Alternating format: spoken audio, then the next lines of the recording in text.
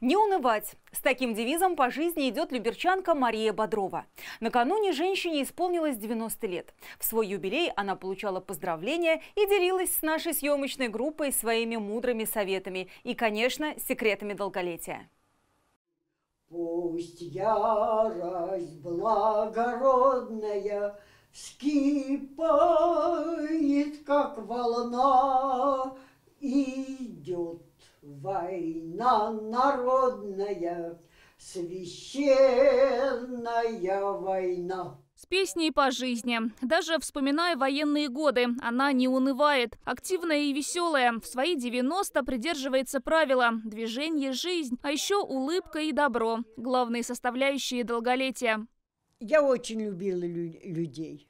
Очень. Особенно детей. Животных любила не была злой, не была обидчивой. Хулиганистые даже говорить нечего. Даже это по огородам лазили.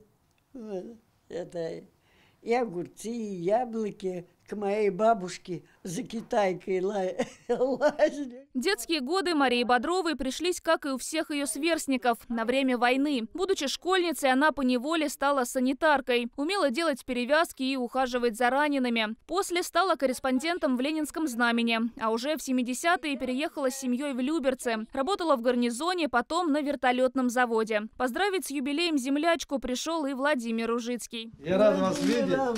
Вы замечательный человек человек. Спасибо, да. Дочь, сын, три внучки и даже два правнука. Сама себя Мария Бодрова называет богатой бабушкой. По ее словам, семья – главное достижение в жизни. Она обладает э, очень ярко выраженной мудростью. Вот э, это то, что не под силу нам, а еще молодые. Она говорила о том, что очень любит людей, это действительно так.